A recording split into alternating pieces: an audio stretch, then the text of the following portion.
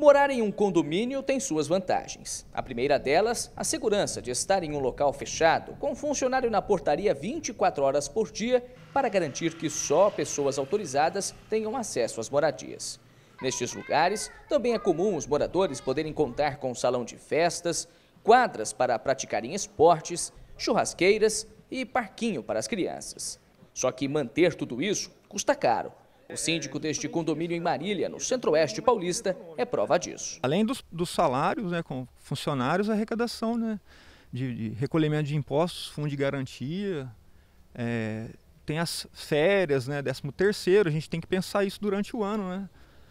E é despesa que sempre vai ter, né? Manutenção e outras mais também, né? Mas o condomínio também sofre os reflexos da pandemia. Aqui a taxa média de inadimplência era de no máximo 10%. Mas nos últimos meses, o número de condôminos que deixou de pagar o condomínio em dia quase dobrou, elevando a taxa de inadimplência para 19%. Para manter a rotina e não comprometer as contas do condomínio, que funciona de maneira muito parecida com a de uma pequena empresa, a primeira medida adotada foi pedir um esforço extra de todos os moradores para diminuir as despesas. A gente é, vai, vai falando com os moradores para que economize água, gás, pandemia, o pessoal ficando em casa acaba usando um pouco mais.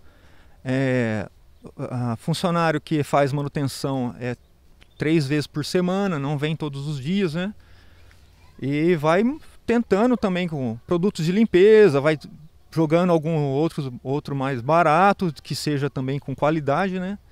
Para manter o serviço com qualidade e vai de todas as formas aí buscando. Né? A cobrança judicial da dívida também é uma medida bastante adotada pelos condomínios. Afinal, não dá para manter tudo em funcionamento sem dinheiro em caixa.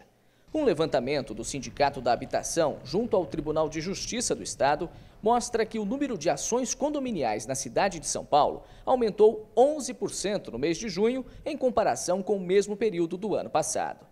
Esta advogada explica que isso se deve principalmente à queda na renda das famílias por causa dos reflexos da pandemia na economia. Mas o aumento no número de ações judiciais neste sentido pode ser apenas a ponta do iceberg, já que antes de se tomar iniciativa de mover uma ação de cobrança, os síndicos e as administradoras de condomínios procuram resolver o problema extrajudicialmente. Antes de dar entrada em uma ação para executar né, esse devedor inadimplente, busca primeiro uma solução amigável, extrajudicial, onde esse condômino inadimplente ele é chamado no administrador ou através do departamento jurídico do condomínio e busca se fazer com ele é um acordo judicial, parcelando essas taxas condominiais, né? Para que não entre com ação com a ação judicial para cobrar judicialmente. A especialista também explica que, embora o condomínio não possa tomar outras medidas, como restringir o acesso de moradores inadimplentes às áreas comuns e de recreação, por exemplo, para os inadimplentes, é sempre mais vantajoso buscar um acordo do que encarar a justiça. Fica mais oneroso para ele, ele vai ter as custas processuais, honorários, né?